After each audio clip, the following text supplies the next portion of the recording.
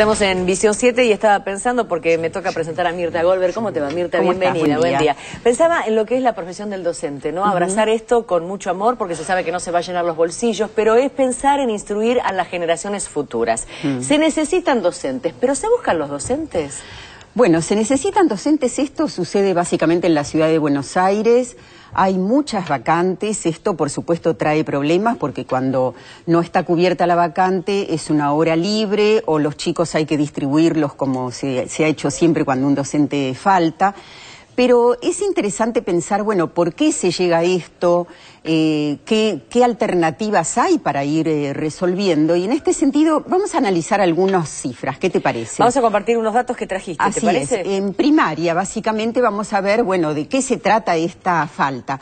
Hay eh, 30.000 cargos, ¿no es cierto? Pero eh, en este momento hay 600 vacantes. Y esto afectaría a 15.000 alumnos. Así es, porque si es muy fácil hacer la cuenta. Si hay 25 chicos pro- promedio por aula, bueno, vos tenés eh, que esto afecta a 15.000 chicos, lo cual es un montón para Es la ciudad de. Buenos Aires. Sí. Vemos qué pasa en secundaria, ¿qué te parece? A ver.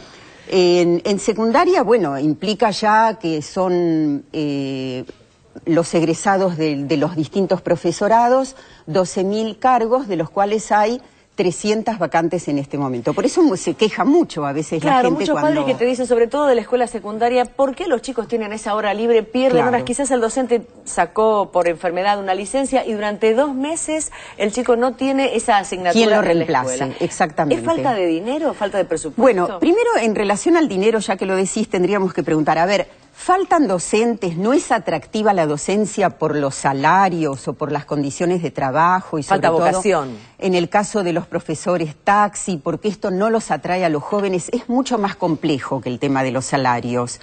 Hay incluso jóvenes que te dicen, este, ni que me pagaran el doble yo sería docente. Entonces no es solamente el tema de los salarios. En primer lugar, vos recordarás, las opciones que teníamos cuando éramos muy jóvenes en relación a las carreras de nivel terciario o universitario eran muchísimas menos que las que hay ahora. En este momento, la opción de carreras cortas, títulos intermedios, tecnicaturas y, por supuesto, carreras de grado es inmensa. Con rápida salida laboral, además, que no sí, es poca cosa. la docencia en la capital también tendría rápida salida laboral justamente por la falta, pero no les alcanza. ¿Por qué? Porque hay otras carreras hoy para los jóvenes si querés decir, están de moda, son más atractivas, están muy promocionadas, carreras vinculadas a la comunicación, a la imagen, a hotelería, bueno, tantas otras que en este momento para los jóvenes son más atractivas. Entonces, si esto lo tenemos en cuenta, si tenemos en cuenta también que la escuela privada en muchos casos tiene salarios más altos. Ojo, también a costa de mucha exigencia. Sí. Si tenemos en cuenta que se ha complejizado el ejercicio de la docencia. Es cierto porque a veces hay casos donde el docente está estresado por lo que tiene que enfrentar es. en el aula, ¿no es Así cierto? es.